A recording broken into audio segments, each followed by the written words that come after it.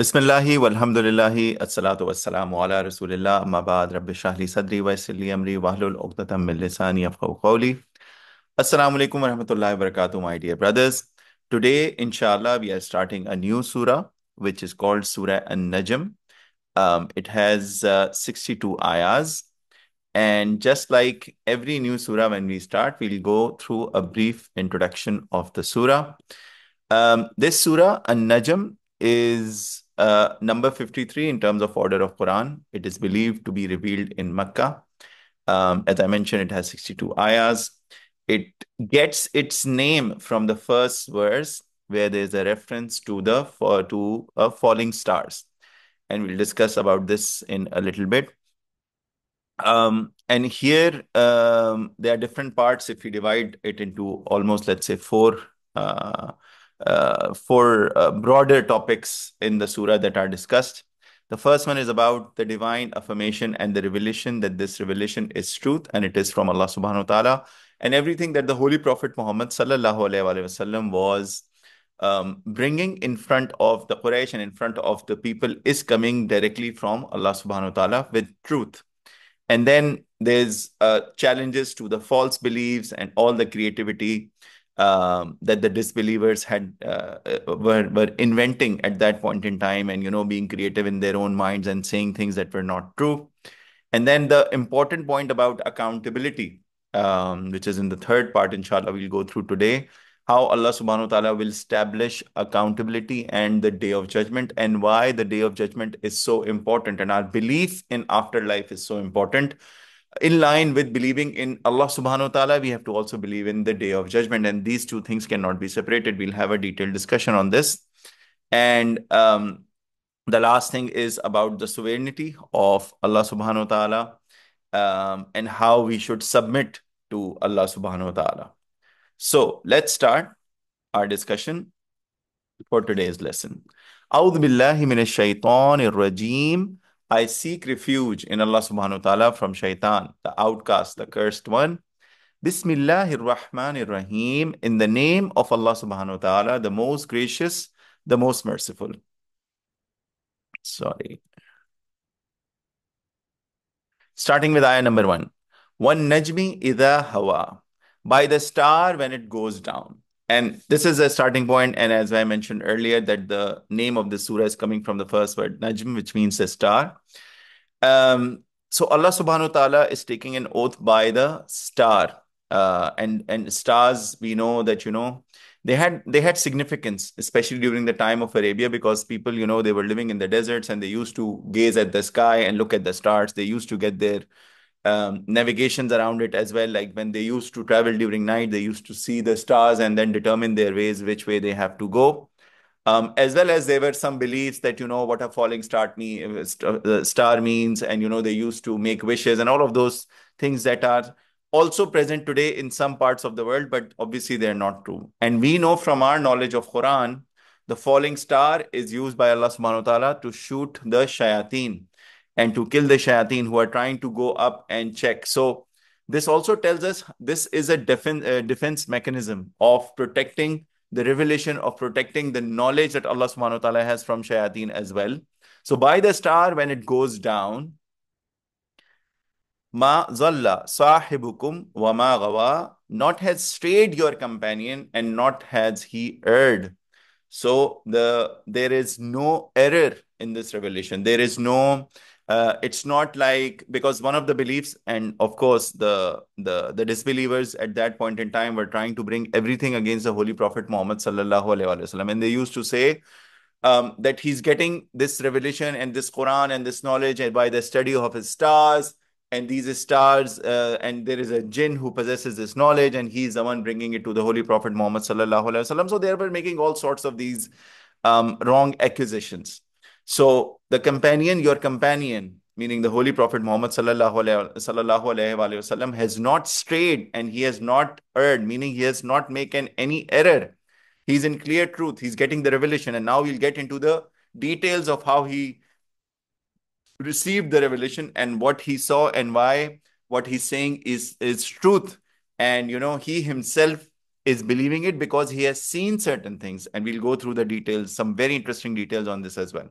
Wama yantiqu anil hawa. And not he speaks from the desire. It's not like, you know, because at that point in time, people who were worshipping gods and stone gods and all of that, they were trying to fulfill their worldly desires. So here, the point is, it's not that he's making it up. It's not like, okay, so he's thinking now I will, uh, you know, uh, say this verse and create this verse and say from his will and, you know, um, um, so this is it's not like that. He's not a poet. A poet a thought comes to him. He's happy. He's sad. He's writing accordingly all of this. So this is all nonsense and they're saying uh, against the holy prophet muhammad sallallahu alaihi wasallam he is not speaking from his own self. This revelation is coming from allah subhanahu wa ta'ala. In huwa illa wahyu wahyuhya. Not it is except a revealed revelation to him so whatever he is bringing is coming from Allah subhanahu wa ta'ala and it has been revealed onto him. There is nothing coming from his own desire. Allamahu shadidul qawa has taught him the one mighty in power. And now this is where uh, the angel Jibreel salam is being referred to. He is mighty, he is powerful, and his power. So even when he's bringing the revelation, um, it's normally what happens is when you're doing a long journey or something normally people would you know get tired or anything. No he doesn't. He's so powerful. He retains that energy. He brings the revelation in its truth in its uh, in its entirety without any uh, element of tiredness. He's powerful and he's mighty as well. Zu mirra uh, zu mirra fastawa possessor of soundness and he rose. And that's how you know he's he he he has that soundness. He has that firmness when he's bringing the revelation that nothing gets distorted. He doesn't get tired. And then he rises above. وَهُوَ بِالْأُفْقِ أُفْقِ الْأَعْلَى While he was in the highest horizon.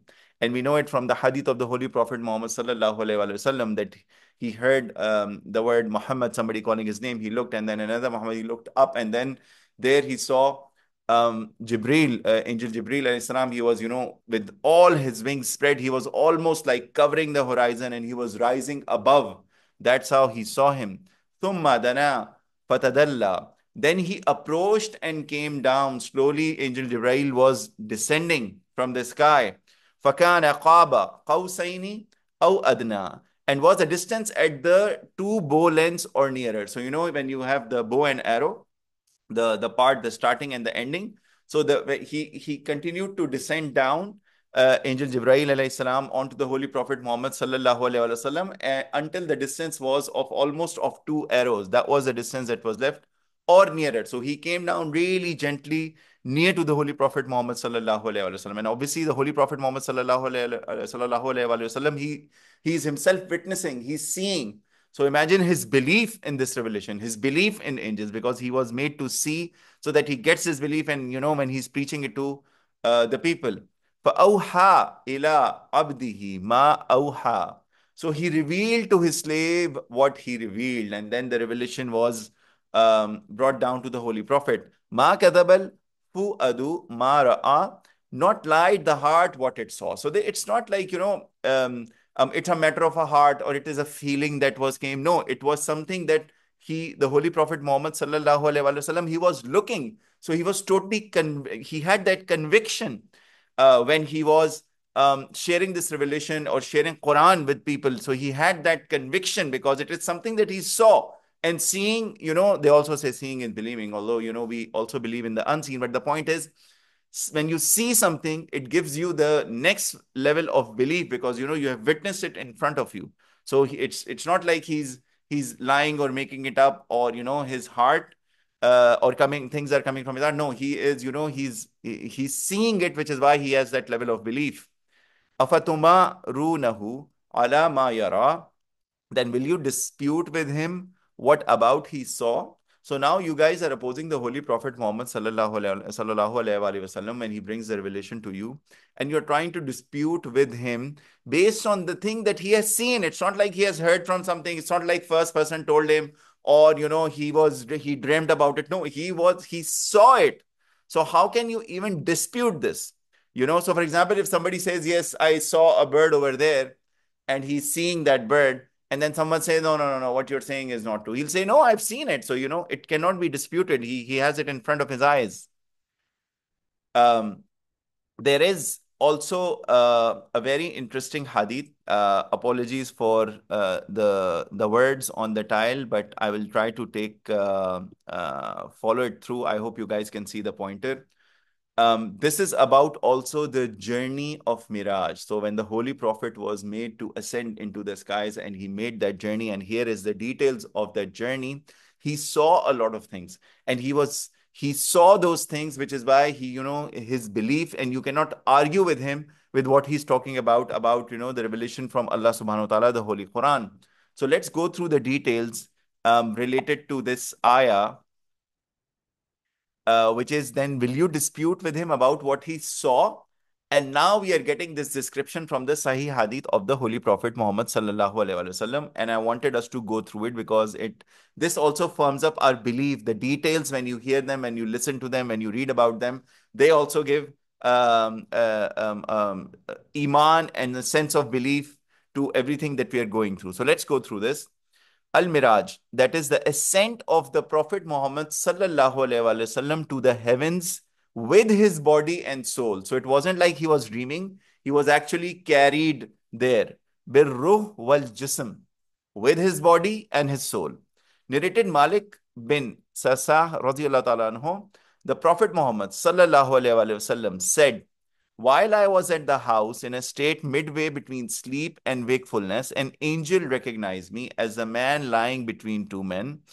A golden tray full of wisdom and belief was brought to me, and my body was cut open from the throat to the lower part of the uh, abdomen.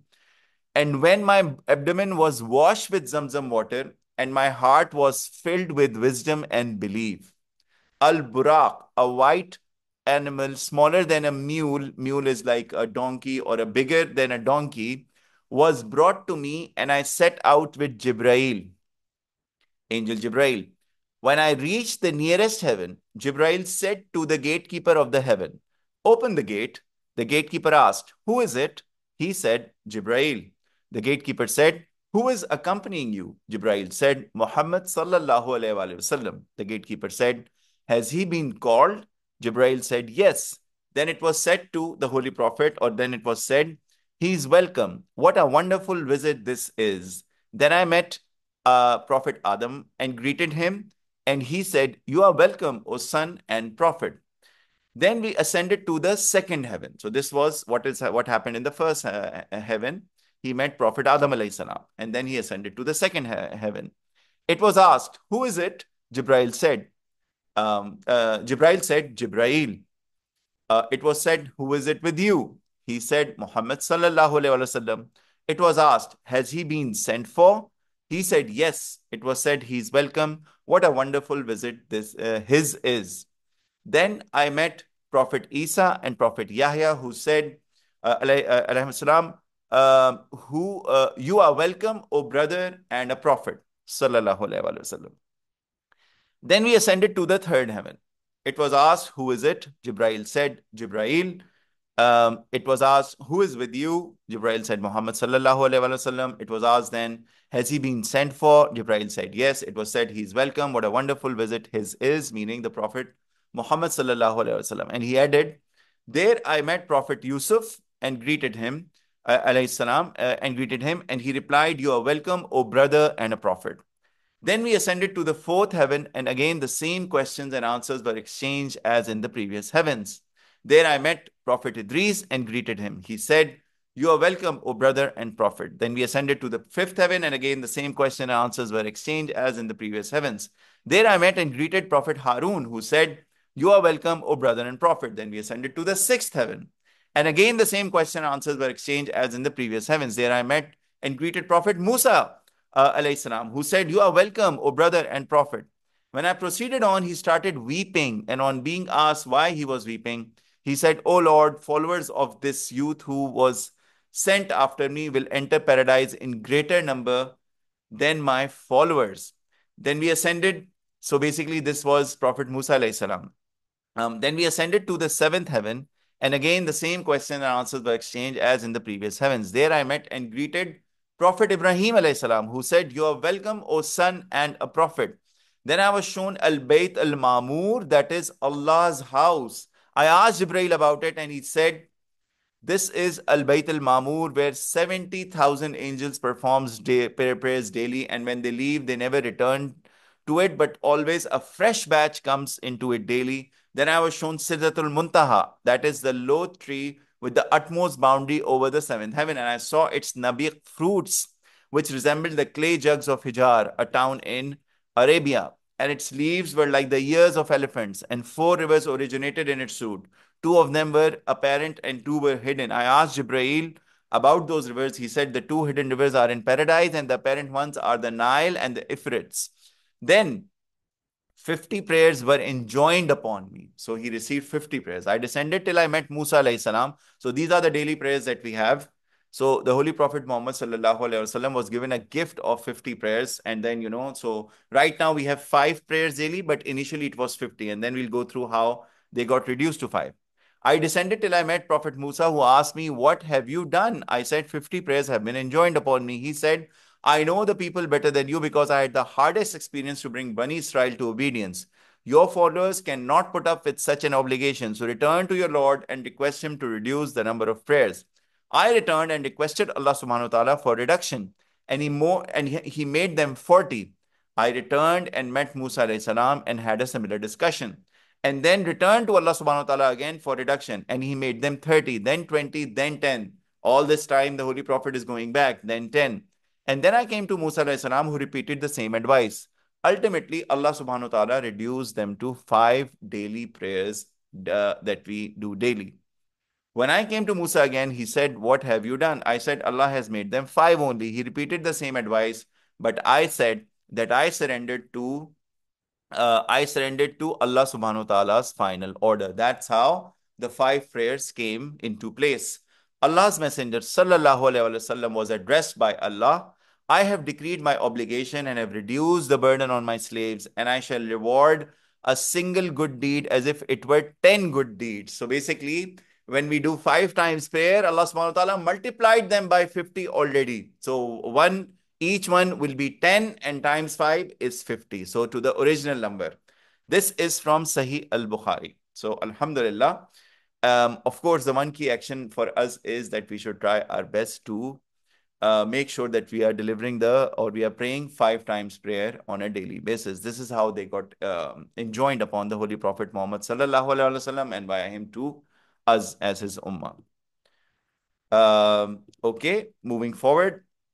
وَلَقَدْ رَآهُ نَزْلَةً أُخْرَى And certainly he saw him descend in another. So there was another place where the Holy Prophet Muhammad wasallam saw Jibreel salam in the Sidratil Muntaha near the low tree of the utmost boundary, as we read about the description in Hadith. In the Jannatul Mawa, here it is the garden of abode or the highest, highest Jannah is yaksha sidrata ma yaksha when the covered the low tree with what it covers, which is the two rivers as we read about it. Ma uh, uh, zagal uh, basaru wa ma tagha not swerve the sight and not it transgress. So the things that Allah subhanahu wa ta'ala wanted the Holy Prophet Muhammad sallallahu alayhi wa sallam to see, he saw, and there was nothing beyond um, that he saw that, you know, he was meant to see. لَقَدْ رَأَى مِنْ آيَاتِ رَبِّهِ الْكُبْرَى Certainly he saw of the signs of the greatest of his Lord, Allah subhanahu wa ta'ala. أَفَرَأَيْتُمُ Lata wal Uzza. Now coming to these gods that were created by Quraysh. So have you seen the Lat and the Uzza? Now they these gods they have no comparison uh, uh, versus you know uh, Allah Subhanahu wa Taala. And how come they treat them as gods? Wa mana uh, wa manata tasal salisatal ukhra and manat the third and the other. So all these gods that they have created alakumud dhakaru wa walahul unsa. Is for you the male and for him the female. All these accusations that he used to make that the angels are, you know, Nauzubillah, angels are uh, the the daughters and all of this uh, of Allah subhanahu wa ta'ala and all these false things they used to make. Tilka izan qismatun ziza. This is then is uh, this is a very unfair division that they do. It's a very unfair division that they are doing. In here, illa asma'un sammaytumuha antum wa aba'ukum ma anzalallahu biha min sultan. not they are except names you have named them. You have just named these gods. They don't mean anything to you, and you know that better as well. You and your forefathers, not Allah subhanahu wa ta'ala has not sent down for it any authority. You have created these gods so that you can make them gods and then you appear as oh we are so religious and we are you know we are uh, worshipping these gods and we are so pious and everything and then you make your own rules and you oppress people and you do corruption and you you know um, uh, you try to control the caravans that used to come in Makkah and trade. That was the objective of creating these gods. We have discussed this multiple times um, in our class as well before. In yattabi'una illa zwanna wa ma tahwal anfus not they follow except assumption and what they desire their souls. They are creating laws, they are creating everything, rules based on what they desire, and they have created these false gods so that they can be seen as religious, and then everyone will follow what they say. And certainly has come to them from their Lord the guidance that they continue to ignore. So, this is a very important point that we need to capture. False gods in Makkah were created so people can call themselves religious and still do what their heart desires. people reject religion today for the same reason as well right? Because people um, why do we why do you guys think that people don't follow religion or don't follow islam? Whatever answers come to your mind feel free so at that point in time people used to reject the guidance and they had their own gods they could follow their desires whatever they wanted to do their heart desires and everything right now we are saying and we are trying to draw this comparison to today's world a lot of the people are not following Islam. A lot of the people, those who are even born Muslims, are not following the, the guidance the way it should be. What can be the reason? Why do we think that people are not following? Ah, there's an answer in chat. Sayyid Faiz. So they can do what they want without restrictions. Jazakallah khairan Faiz. Shehroz. Islam tests man and tells man not to follow his desires. Yes. And just uh, a correction on Shehroz. Jazakumullah khairan to both of you for your amazing contributions. Thank you so much. The point is, Islam tests men's, yes, um, but not to follow his desires, no, but to control the desires and to follow them the right way. So this is one thing that I would like to add, that Allah subhanahu wa ta'ala has given us outlets to follow our desires. There are halal ways of doing things. There are halal ways and we can enjoy our life, really, really. And we can have a very healthy, fulfilling, content, happy life by following Islam. In fact, those people who fulfill their desires the wrong way, alcohol, zina, all of these things, shameful things, they are miserable in this world. Eventually, they get so miserable in this world because Allah subhanahu wa ta'ala is our creator. He knows how should, we should live our lives so that we can live it in the fullest of form. We can be happiest, we can be content, how we feed our soul with prayer, how we feed our body, what should we do, what should we not do. So Allah subhanahu wa ta'ala knows it. So we have, we have been asked to fulfill our desires according to the halal way. And there are halal outlets, and those halal ways are also making us or good for us or make us successful in this world as well as in the hereafter. While, as Sayyid Faiz mentioned, Jazakallah khairan, that um, uh, because people they don't follow Islam or they don't want to follow the guidance, they don't want to follow the Sharia because they want to do whatever they want without any restriction. Another answer in chat. Apart from that, we as humans have a natural tendency to follow the masses and please others, even if what they're doing is wrong. Brilliant, brilliant answer. Shahroz Jazakallah khairan. You are 100% right. We follow the majority. That's the problem. Um, and when we follow the majority, we are just following them because um, everybody's doing it. So while everybody is, you know, uh, doing shameful things, everybody's sharing these things, everybody's gone social media, everybody's chatting, everybody's going to mixed gatherings, everybody's partying, all of this. Why should I uh, restrict myself? Uh, Abdul Aziz, you have your hand raised. Go ahead. I think they rejected the religion because if they if they follow their religion, then no one would buy their idols anymore, and their main source of income was by selling idols. So they just stopped getting money. So they were just they were rejecting Islam because of money. Amazing. And yes, Jazakallah khairan. And this money is a desire, desire for wealth. So yes, 100% true. And they were doing that for to control the economy of Makkah. They used to actually blackmail people. Oh, if you don't agree to us or what we are saying, then we will, you know, make a complaint to your God and bad things will befall upon you and this will happen and that will happen. So this was actually happening there. They were trying to control. And of course, it wasn't about they knew that these stone gods have been created by themselves and they cannot do anything.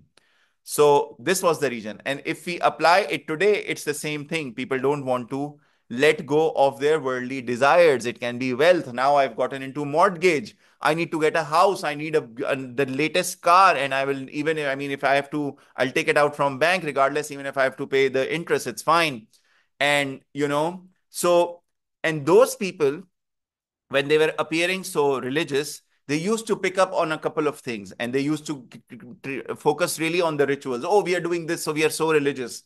If you look at today, a lot of the people forget the big things, the big issues uh, like zina or shamefulness or the use of riba or interest and all of this. And people start on small, focusing on small things, issues. Oh, this thing, this ingredient is this halal haram. Oh, this, how you have to wear this, you know, how long or short should be your dress and this one, and you should do. They're getting into these small things, getting distracted. And that's what they call religion. While, you know, they're having all these big sins all around going through their lives. We'll touch upon this point also um, later on. So people reject religion today as well so that they can fulfill their desires and they can live, they can do corruption, they can form their own laws. Because the moment you start following the guidance and the Holy Quran and the Sunnah or the Hadith of the Holy Prophet Muhammad sallallahu alaihi wasallam, you have to apply the Sharia law. And Sharia law, of course, will let go of a lot of things that people are enjoying today.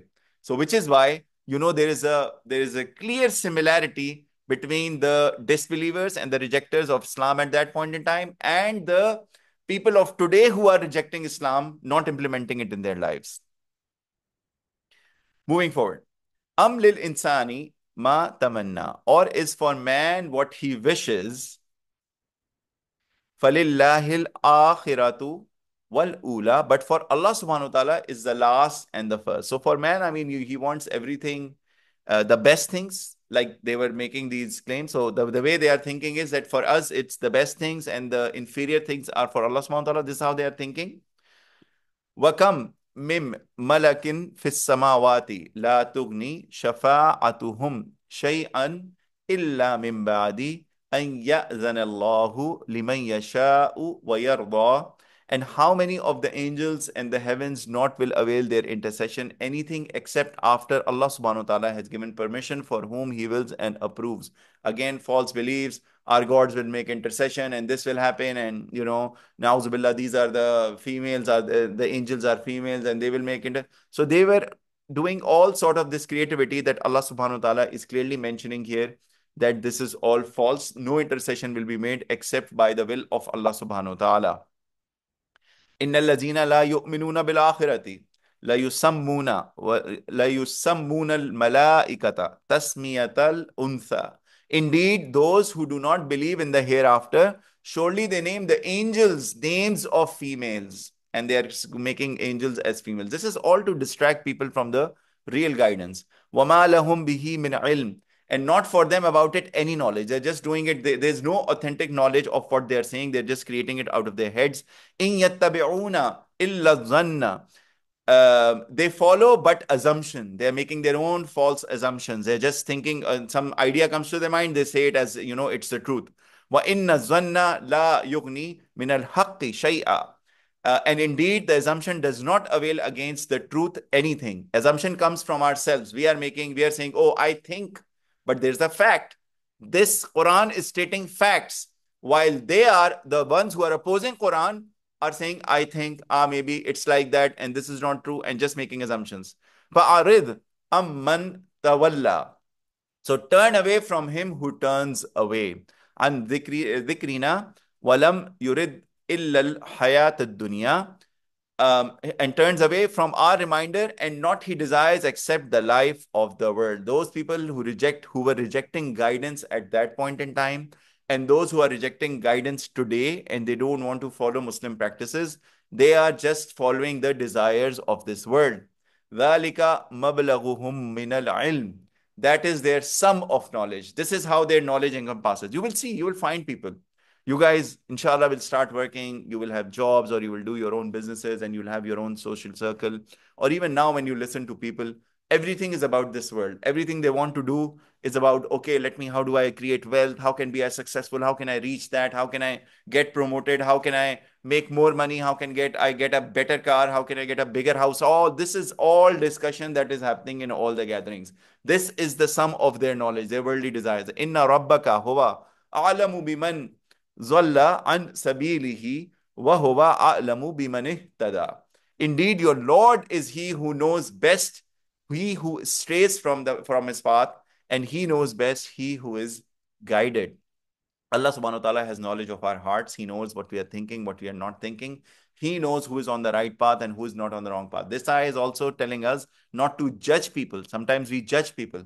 Sometimes apparently a person who looks like, ah, oh, you know, he's look like, a, yeah, he's not practicing or something like that. We don't know. Maybe someone is better than us in a deed while, you know, they not appear like that. So we should not be also judgmental. This decision of who is straying from the path, who is on the right path, who's guided, is with Allah subhanahu wa ta'ala. Yes, we can look at an apparent deed. We can look at somebody doing, committing a sin, and we can say this is wrong, and this is how they should be punished in the justice system of the world but we cannot pass judgments against people for oh he this guy is going to jannah and this guy is going to hellfire. For sure i know he's going to hellfire. No you cannot say that. This knowledge is with allah subhanahu wa ta'ala. Walillahi ma wa ma and for allah subhanahu wa ta'ala is whatever is in the heavens and whatever is in the earth. Liyajziya lazina asa'u bima amilu wa yajziya lazina ahsanu bil husna. And he may recompense those who do evil with what they have done and recompense those who do good with the best with the best things. And this is how Allah subhanahu wa ta'ala will establish the justice system.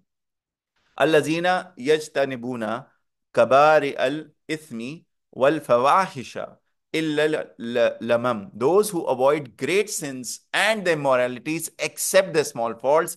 Inna rabbaka wasi'ul maghfirah. Indeed, your Lord is vast in his forgiveness. Huwa a'lamu bikum is he is most know, knowing about you when ansha'akum min al-ardi wa iza wa iz antum ajinnatun uh, fi butuni ummahatikum.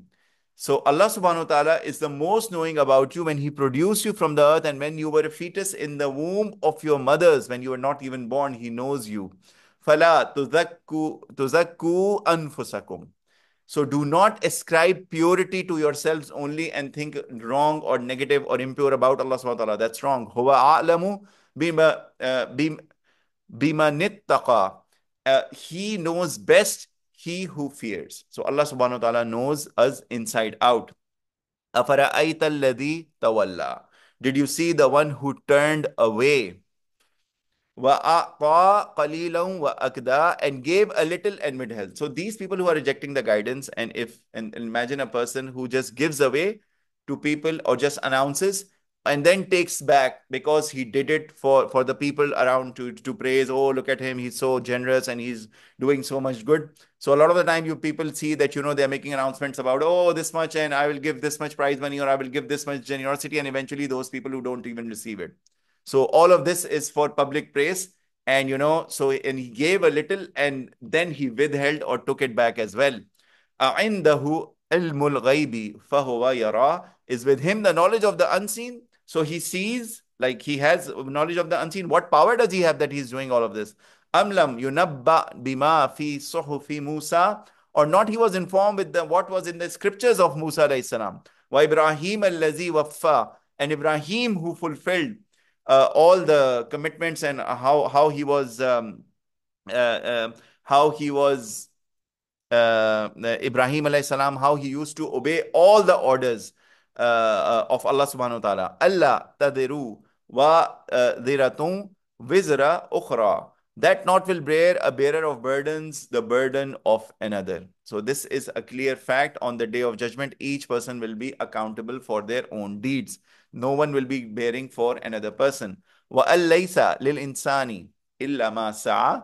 And that is not for man for what except for what he strives. If he will strive for good things, we will get good things. If we are striving or if we are spending our lives only for fulfilling our desires, whichever way, and we don't care about halal, haram, sharia, whatever it is, we just completely do, we will get compensated accordingly. وَأَنْ سَعْيَهُ Sawfa yura, and that his striving will soon be seen. Allah subhanahu wa ta'ala will make it evident on the day of judgment. It will be revealed of what he was doing, actually what he was striving for. Summa yujzahul jaza al awfa. Then he will be recompensed for it, the fullest of recompense. This is the most important thing that everyone will be compensated based on what they're striving for. Sometimes people are showing some things they are trying to prove that they are like this but in on the inside they actually their their desire or their motive or their objective is something else. Allah subhanahu wa ta'ala knows what they're striving for. If they're striving for the right path or if they're striving for something else. If they are supporting islam or the way of allah subhanahu wa ta'ala or they're going against it. So they will be recompensated in full on the day of judgment. Wa anna ila rabbikal muntaha and that to your lord is the final goal. Wa annahu huwa azhaka wa abka, and that he makes one laugh and he is the one who makes one weep. Allah subhanahu wa ta'ala is so close to us.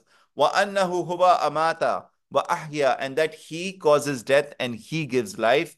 Wa annahu khalaqa zawjayn dhakara wal untha, and that he created the pairs, the male and the female, min nutfatin iza tumna from a semen drop which it is uh, when it is emitted which is from the male partner and a female partner when this uh, the intercourse happens and you know the drop of semen is passed on. So this is a this is the detail of the creation of the amazing creation from Allah subhanahu wa ta'ala how it is done. And he knows uh, wa anna alayhin uh, nash'atal ukhra and that upon him is the bringing forth another. This is very important ayah where Allah subhanahu wa ta'ala is saying that the resurrection, the concept of us having an afterlife, we will be brought back, is something upon Him, meaning upon Allah subhanahu wa ta'ala. And this is a very, very important concept that we need to discuss a little bit. And I need your attention. Believing both in Allah subhanahu wa ta'ala and the day of judgment is mandatory. It's not important, it's compulsory.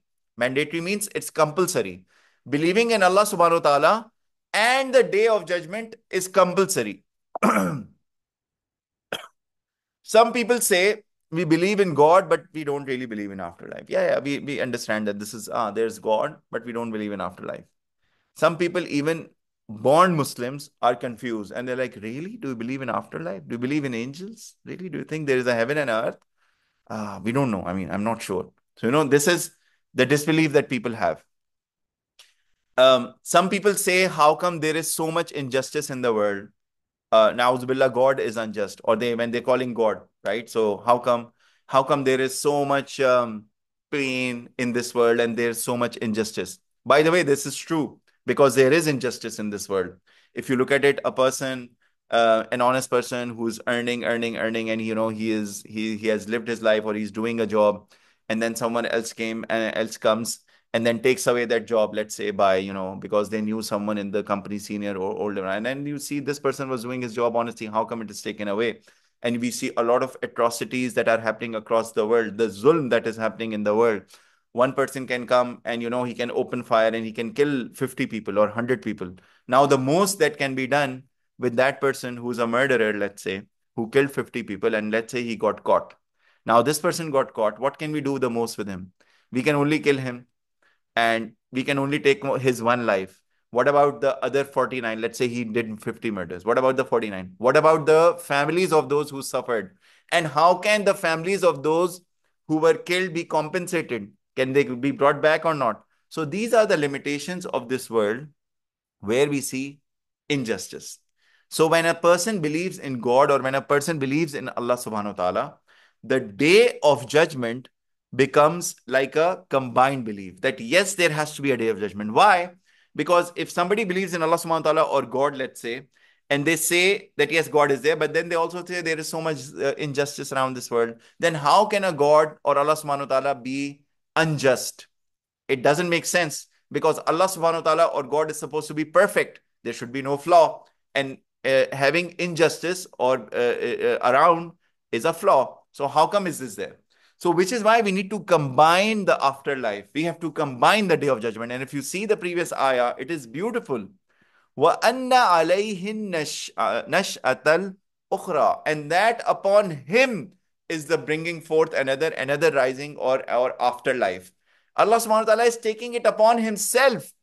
Obviously, because he's Allah subhanahu wa ta'ala, he's our God, he's our Rabb, no one can enjoin it upon him. No one can say that we want you now, we want you to, you know, bring in the day of justice and where is justice and all of this.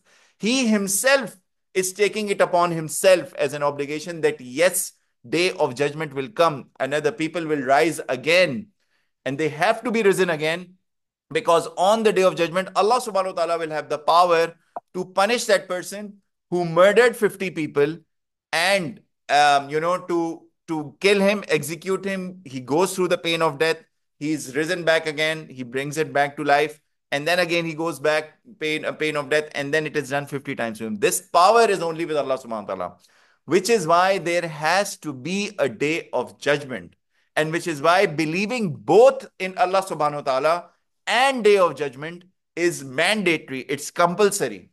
And so which is why you know previously the arguments that people were saying that we just went through uh, there's god but i don't know about afterlife and all of this doesn't hold true so this is the key action for us. Believing in both Allah subhanahu wa ta'ala and day of judgment is mandatory. Allah subhanahu wa ta'ala will establish absolute justice in afterlife. That's why the ayah mentions that Allah subhanahu wa ta'ala has enjoined it upon himself that there will be a rising back again and there will be an afterlife. There will be a day of judgment. We saw it in um, in in Surah number 4, ayah 40 as well. Indeed, Allah subhanahu wa ta'ala does not do injustice even as much as an atom's weight. So no one will be getting, uh, no one, uh, you know, everyone will get, and we saw it in the previous ayahs as well, to the fullest of what they did. I hope this point is um, clear moving forward. وَأَنَّهُ هُوَ أَغْنَى وَأَقْنَى And that he enriches and, and suffices. He's the one who provides. وَأَنَّهُ هُوَ رَبُّ الشِّعْرَى and that he is the lord of Sirius was one of the uh, the stars that the Arabs used to believe, and they when they used to look in the sky, and some believe that it is it was Jupiter, uh, the planet Jupiter, or it was a star. So you know they used to see these. So and they used to say it it was the brightest. So they th thought that you know this is the controlling entity, or this is the one who is uh, who's a god or something but that is being clarified and that he is the Lord of Sirius as well, or Lord of Shara as well. The one that you believe is, you know, powerful or is the one God in your own mind. Allah subhanahu wa ta'ala is the God or Allah subhanahu wa ta'ala has created that star or that planet as well. وَأَنَّهُ أَهْلَكَ عَادَ nil ula and that he destroyed the first Ad, which was the nation of Ad, and the why it said first Ad because there was Thamud as well. Prophet Hud salam was sent to Ad and then he moved away and then he sent to be, uh, um, uh, later on he settled uh, into a different place and then the, the nation of Samud also was there. Watamuda, Fama Abqa and Samud. He spared not, so not and Samud as well. So Ad and Samud, they were not spared, they were punished. Waqawma Nuhim min qabl and the people of Nu before. Innahum kanu hum azlama wa atqa Indeed, they were more unjust and more rebellious. We know how long they were uh, living, and we know how much um, Prophet Nuh salam had to suffer. And you know, he he kept on preaching them for more than 900 years, and still those people did not follow him. Mu'tafika, uh, uh, wal ahwa. And the overturned cities, he overthrew, and the overturned cities which was um, uh, the nation of Prophet Lut salam, how they were overturned and you know the, the grave sins that they were doing. فَغَشَّاهَا مَا غَشَّا So covered them what covered. You know, they were pelted with stones and there was a storm of stones and clay stones were thrown at them and all of them were killed. Those who were doing the grave sin of homosexuality, um, who were the nation of Prophet Lut salam, whom he tried to preach, but they did not listen to him uh, and eventually they were punished by Allah subhanahu wa ta'ala. فَبِأَيِّ آلَاءِ رَبِّكَ تَتَمَارَى Then which of the favors of your Lord will you doubt? All the examples, all the case studies of these past nations are in front of us.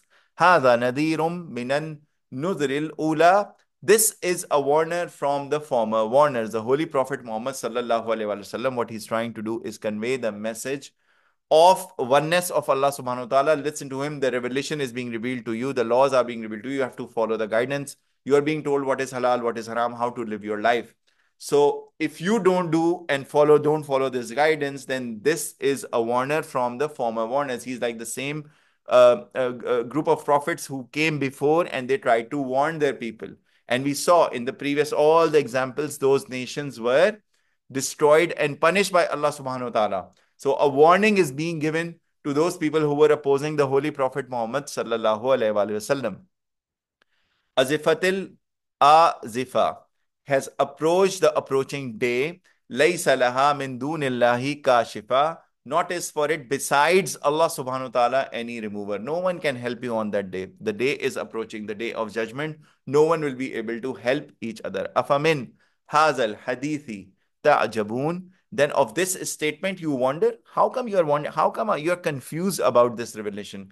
How come you are not taking it seriously? How come this warning is not making sense to you? We have shared allah subhanahu wa ta'ala shared the the, uh, the all the case studies.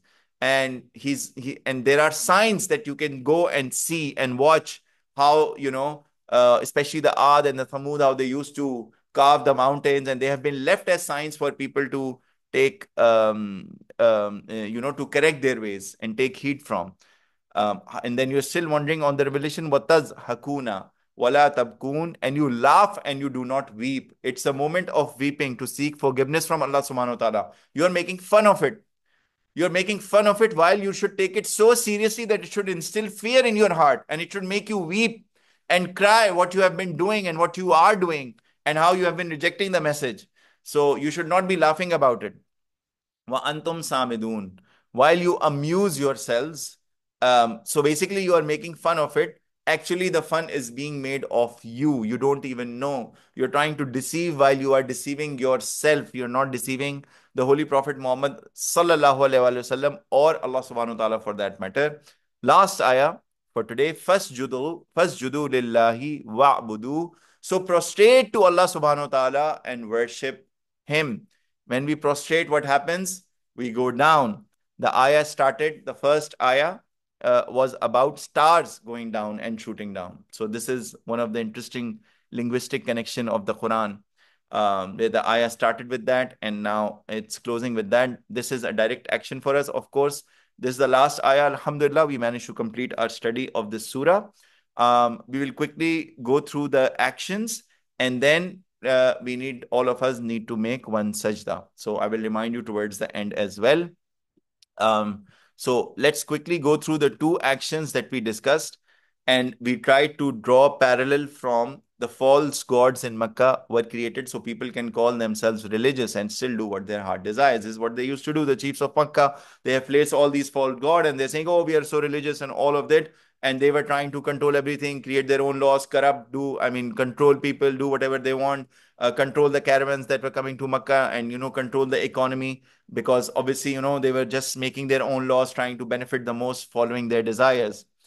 Um, and if you draw that parallel today as well, people are rejecting religion because they want to do whatever they want. And, uh, you know, they have the same reason. We, I mean, those people who are rejecting Islam completely or those who are born Muslims and they're not following uh, the guidance the way it should be, then they are they basically want to fulfill their desires. They want to go through the mortgage. They want to benefit from riba. They want to uh, do shameful things. They want to have these mixed parties with male, female, and all of this.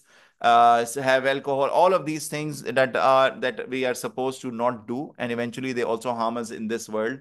Um, you know, and not benefit us in the hereafter. People want to do, which is why so you can clearly draw these parallels amongst those people who are opposing the Holy Prophet Muhammad wasallam and amongst those people today even who are opposing Islam.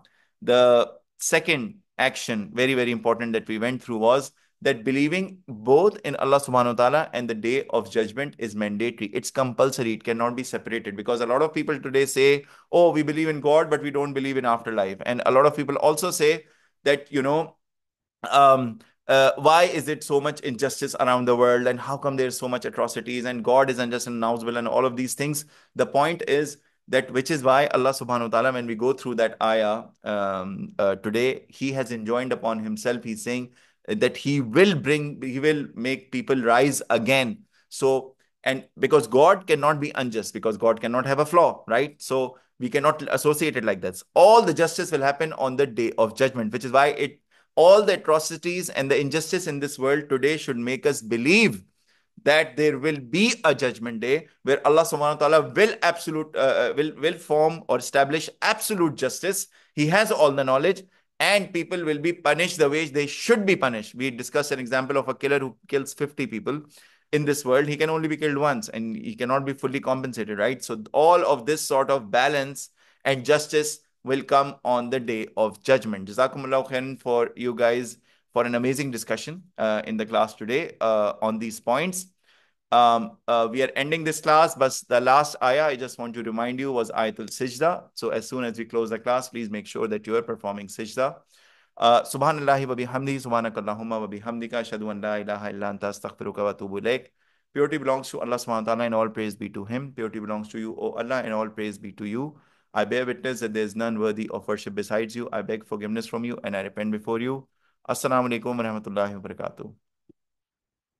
I'll see you guys same time next week, inshallah.